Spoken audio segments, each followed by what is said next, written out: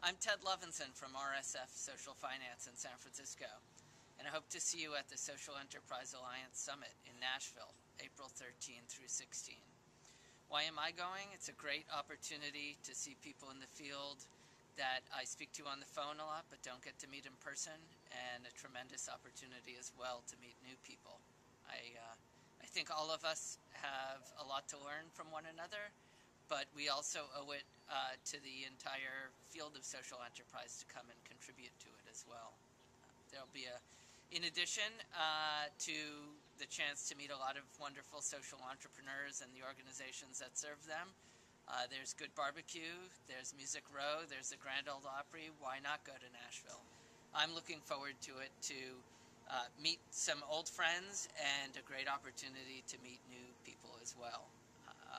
I've already made great connections through Social Enterprise Alliance, and I make sure that that uh, that those dates are on my calendar every year.